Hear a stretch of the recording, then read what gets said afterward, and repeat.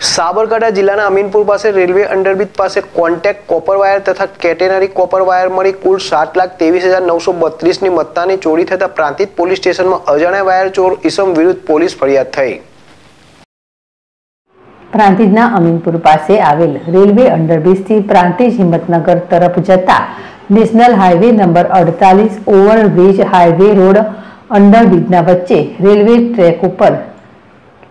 number ત્રણસો બેતાલીસ દસથી કિલોમીટર ત્રણસો તેતાલીસ, જીરો બેની વચ્ચેથી પાંચસો પિસ્તાલીસ મીટર કોન્ટેક્ટ કોપર વાયર જેની કિંમત રૂપિયા બે લાખ પંચોતેર હજાર નવસો બેતાલીસ તથા પાંચસો સાસઠ મીટર કેટેનરી વાયર કોપરની કિંમત રૂપિયા